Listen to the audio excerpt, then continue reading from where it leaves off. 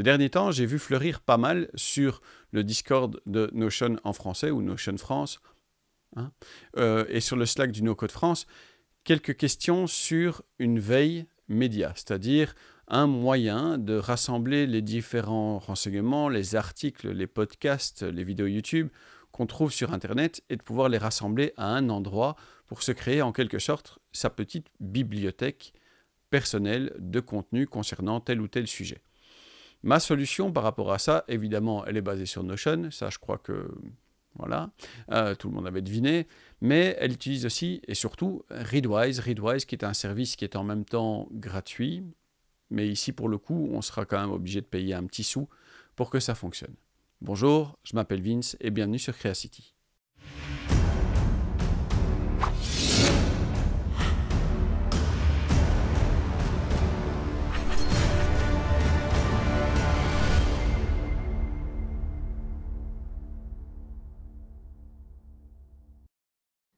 Alors, comme je le disais, Readwise permet de gérer toute une librairie. Cette librairie, elle peut contenir des livres, des articles, des podcasts, euh, vos propres résumés que vous feriez vous-même, etc. Donc, c'est vraiment une bibliothèque qui est assez complète. Alors, complète dans le sens où on peut y introduire tout ce qu'on veut. Mais évidemment, il faut qu'il y ait un import de vos données, de vos recherches, de vos lectures. Et cet import, il va se faire ben, simplement en configurant l'accès à Notion. Alors, la première fois que vous le faites, vous devez vous loguer dans Notion et à partir de ce moment-là, si vous êtes connecté en même temps à votre compte Amazon et votre compte Notion, il vous demande, enfin, il vous liste toute la série de vos workspaces. Donc ici, on va se connecter à notre workspace pour la formation.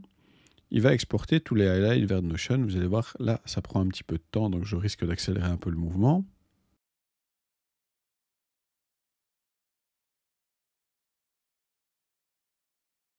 Alors, je vais quand même préciser que cet export vers Notion, ce n'est pas un export uniquement de ce qu'il y a dans le Kindle. C'est un export de tout ce qui est dans votre Readwise. Donc, ce que vous récupérez de Feedly, ce que vous récupérez de, n'importe où, on va regarder la liste tout à l'heure, tout vient se mettre dans Notion.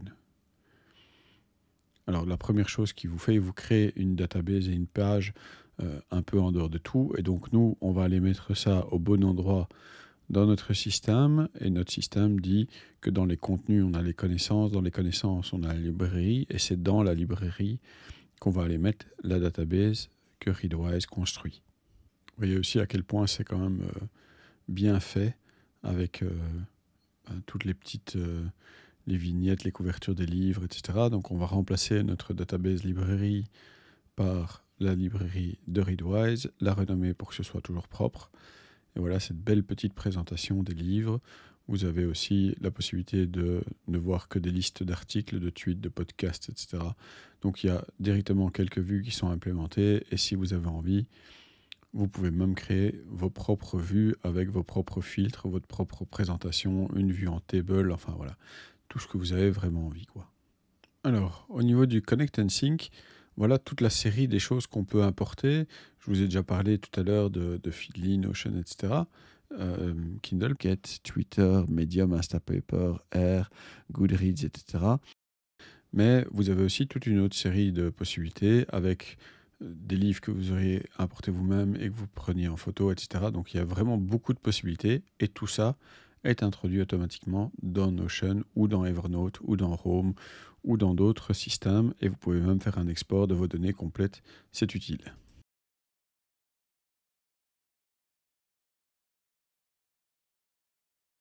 Parfois, pour que cet import se fasse, il faut payer un petit sou.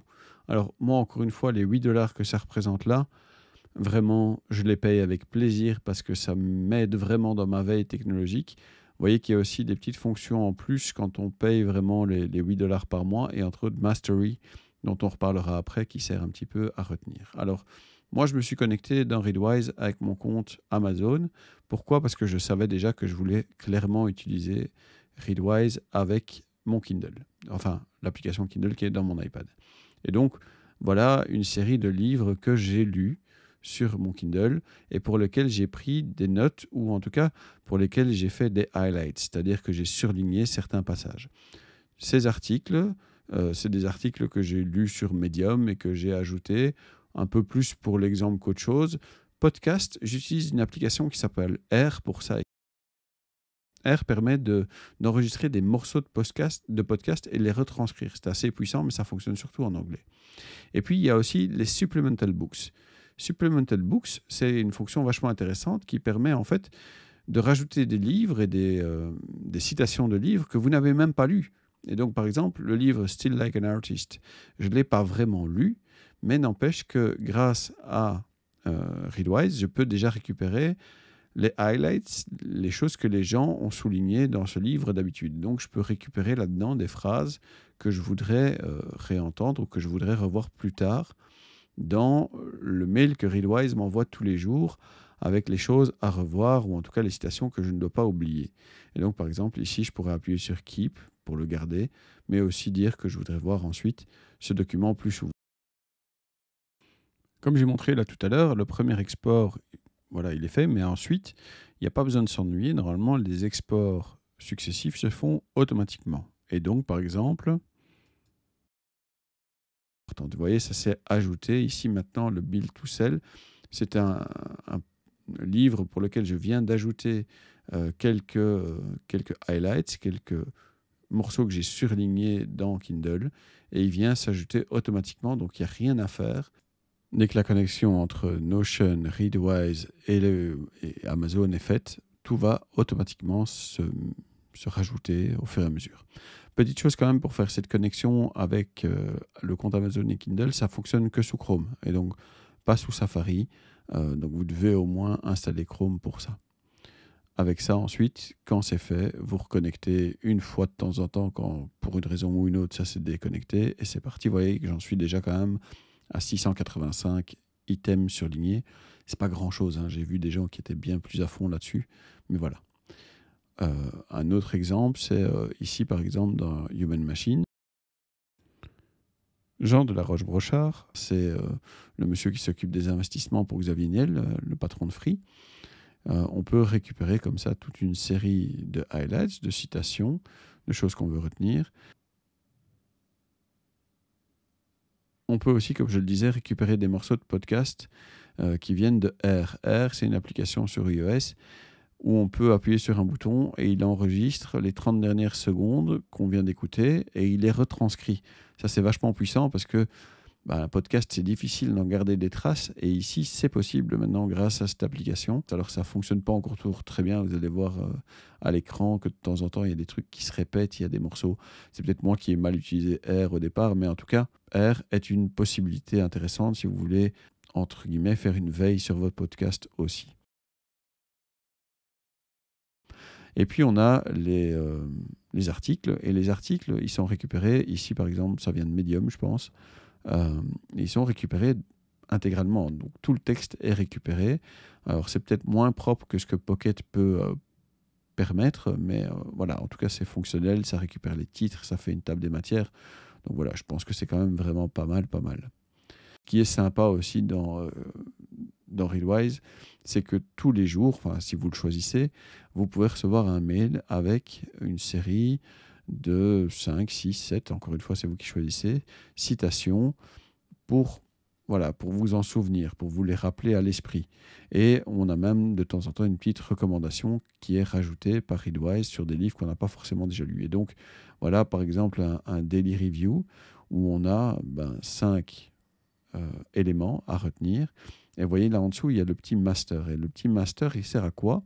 Ben, Il sert encore à aller un step plus loin, c'est-à-dire vraiment à essayer de euh, mémoriser certaines citations. Et donc ça peut être très intéressant euh, dans vos études, si vous avez noter des PDF ou des articles. C'est aussi d'utiliser ça comme des flashcards, des, des textes à trous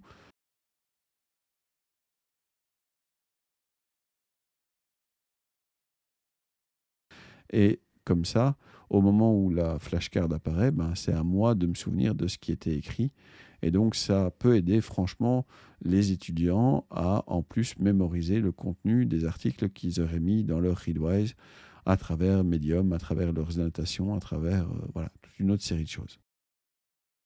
Voilà, ici par exemple, on peut aussi faire un peu de mise, de mise en forme et donc on peut retravailler ces notes ensuite. Je voudrais vous engager euh, réellement à aller regarder en description le lien vers le Slack du No Code France et le lien vers le Discord de Notion en français. Pourquoi? Ben Parce que c'est un lieu euh, incroyable où il y a des échanges très euh, riches, très variés, sur plein de sujets, et en tout cas pour le No Code France, par exemple, sur plein d'autres sujets que Notion, Integromat, etc. Sur Notion en français, on a vraiment une base de spécialistes qui est assez, qui est assez intéressante et qui vous permet de trouver des solutions ou de partager ce que vous créez dans un environnement fort agréable avec des gens très sympathiques. Voilà, moi j'essaye d'y passer un maximum de temps, donc vous pouvez me retrouver aussi, vous pouvez poser des questions au reste de la communauté, et tous ensemble, on essaye de résoudre des problèmes. Dans mon système de productivité, dans mon système à moi pour me permettre d'être productif, c'est clair, Readwise a une place centrale dans la partie des contenus, dans la partie librairie. Readwise, c'est la vie. Et donc, voilà, j'espère que cette découverte euh, vous aura fait plaisir, vous aura intéressé, euh, que vous irez euh, jeter un petit coup d'œil. J'ai hésité franchement à mettre un lien affilié en dessous. Alors l'affiliation chez Readwise, tu gagnes pas un sou, donc ça c'est quand même bien. Quelque part, c'est la preuve que la vidéo elle n'est pas sponsorisée en tant que telle. ce que vous recevez avec ça, vous recevez un mois gratuit. Voilà. Et moi aussi, je pense. Moi aussi, dans mon forfait, je reçois un mois gratuit. Donc voilà, en toute transparence. N'empêche, Readwise, super outil. Euh, et encore, moi, j'en utilise même pas toutes les capacités. Je pense vraiment que c'est quelque chose que vous auriez avantage à au moins essayer. Encore une fois, je m'appelle Vince et merci d'avoir regardé cette vidéo.